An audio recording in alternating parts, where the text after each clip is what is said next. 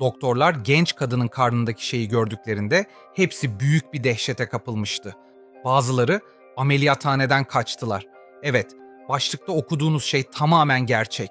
Bir kadın midesinde garip bir ağrı şikayetiyle hastaneye gitti. Hastanede korkunç bir sürpriz onu bekliyordu. Amerikalı 36 yaşında bir kadın bir gece uykusundan dayanılmaz şiddette bir mide ağrısıyla uyanmıştı. Ancak öncelikle ağrının geçeceğini düşünerek bekledi. Babasına ağrıdan bahsettiğinde ikisi de ağrının sebebinin dün akşam yediklerinden biri olabileceğini düşündüler.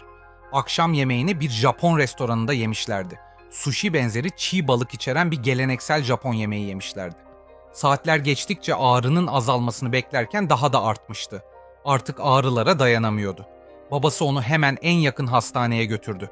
Hastaneye acil kapısından girdiler ve hemen müdahale edilmesini istediler. Artık karnındaki ağrıya dayanamıyor, ağrının şiddetinden ağlıyordu. Kadının durumu acil kısmında görevli doktorlardan birinin dikkatini çekti. Kadından kıyafetlerini çıkarmasını istedi. Kadını elle muayene etmeye başladı ve midesinin alt tarafında derinin altında hareket eden bir şey olduğunu fark etti. Kadını hemen röntgen çekimine yönlendirdi. Röntgen sonuçları geldiğinde doktorlar gördüklerine inanamadılar. Kadının karnında hepsini hayrete düşüren, tanımlayamadıkları bir şey vardı. Derhal ameliyathaneyi hazırlattılar ve kadını hızlıca ameliyathaneye götürdüler. Bu sırada kadının kalbi bir süreliğine durdu.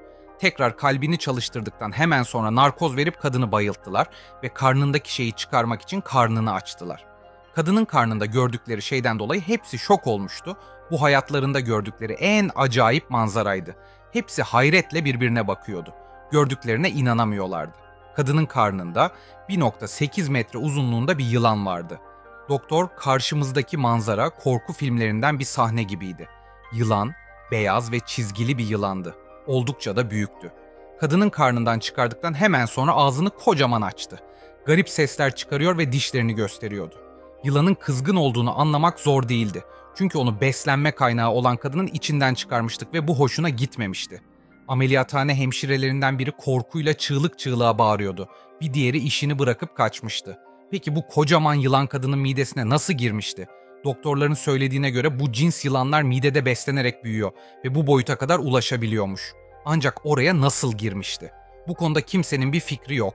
Ancak bazı uzmanlar doğada kamp veya piknik yaptığı esnada bu yılanı minik bir yavruyken yutmuş olabileceğini söylüyor. Ayrıca bu kadın bu yılan vakasının Amerika'daki ilk kurbanı da değil, bu yılanların yumurtaları nehirlerde bulunuyor ve oldukça da minikler.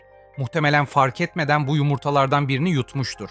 Kadın ameliyatla midesindeki yılan alındıktan sonra uzun bir süre sürekli kustu ve sonunda iyileşene kadar böyle devam etti. Çünkü yılanın mide duvarında bıraktığı hasarlar onarılmalıydı ve bu uzun bir süreçti. Tıp dünyası ilginç vakalara şahitlik etmeye devam ediyor. Son olarak Mardin Artuklu Üniversitesi Tıp Fakültesi'nde görevli tecrübeli anestezi doktoru doktor. Hakan Akelman'ın sosyal medya hesabında yaptığı paylaşım gören herkesi şaşkına çevirdi. Görüntülerde bir kadının midesinden endoskopik yöntemle yılan çıkarılıyor. Kadının açık havada bahçesinde uyurken sürüngenin boğazından aşağı kaydığı belirtildi. Kimliği belirlenmeyen kadın sabah uyandığında midesinde hareketlenme hissetti. Ailesi tarafından hastaneye götürülen kadının röntgeni çekildiğinde gerçekler ortaya çıktı. Kadının midesinde yılan olduğunu fark eden doktorlar kadını acilen ameliyata aldı. Anestezi ile uyutulan kadının midesinden özel bir malzeme yardımıyla bir metreden uzun yılan çıkarıldı